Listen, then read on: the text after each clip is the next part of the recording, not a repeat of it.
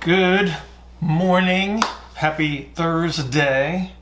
Or as we call it here, chips and salsa day, because this is the typical day where we have our little iFast family dinner at my favorite Mexican restaurant, um, which is currently closed. So we're going to figure something out. Um, for those of you that, that live in my area, if you have any ideas as to where I can get some really good Mexican carryout, I would really appreciate it because I've been going to the same restaurant for eight years and I, I really don't like to change, but looks like I'm going to have to do it. So so let me know on that if you if you guys like I said know me, know where I live, kind of a thing. Um, I have my Neuro coffee in hand as usual and It is perfect. Um, I got a question from from uh, Vikram, and Vikram had a question about the squat video that I posted about six days ago. I believe it was March 19th, where we are talking about the, the, the transition from from inhalation to exhalation to inhalation during the, the heels elevated squat pattern to uh, reduce the, the anterior posterior compressive strategy. And so he had some really good questions about this, and I'm sure everybody has a, a similar question. So, so I thought I would go through these because um, he, he broke it down into three pieces for me here. He says, number one, is the reason for pushing through the medial heel on the ascent to, to promote pronation exhalation strategy. Absolutely. So remember when you're at the bottom of the squat, and I'm going to grab my pelvis here so we can sort of simulate this.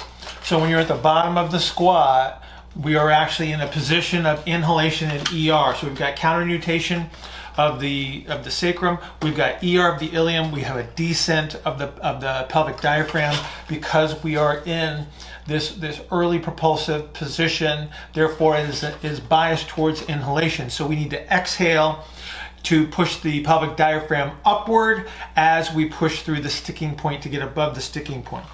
Um, so yes, we definitely want to push on the medial heel and exhale at the same time. And that actually helps us restore a normal exhalation strategy without compensatory strategies being superimposed. So that's kind of a big deal. Um, during the ascent, would there be any benefit to reversing the exact sequence as in the, the descent of the squat. So, so what he's referring to here, so remember we're biasing ourselves towards inhalation at the, at the, the top of the squat. We exhale uh, to the sticking point and then we inhale again to, to full descent. And what we're trying to do there with that sequence is to again restore a normal inhalation to exhalation um, behavior without the compensatory strategies. So we go from inhalation exhalation to the sticking point, which is normal, and then to inhalation again to get to the full descent. As we reverse gears and push up, it is unnecessary to reverse the, the, the, sequence because it's going to happen naturally. We're starting from a bias of inhalation. We push through the sticking point, which is our which are our, our concentric pelvic diaphragm. So the pelvic diaphragm is descended at the bottom. We exhale through the sticking point, it pushes up, and then you're just going to take a normal inhale at the top and, and, and reestablish your anterior posterior expansion at that point. So it is unnecessary to intentionally reproduce the same strategy that we use on the descent. But that's a really good question. Finally, he says, uh, what superficial compressive strategy would be reinforcing by taking the breath that you took at the top and held it through the middle propulsive phase?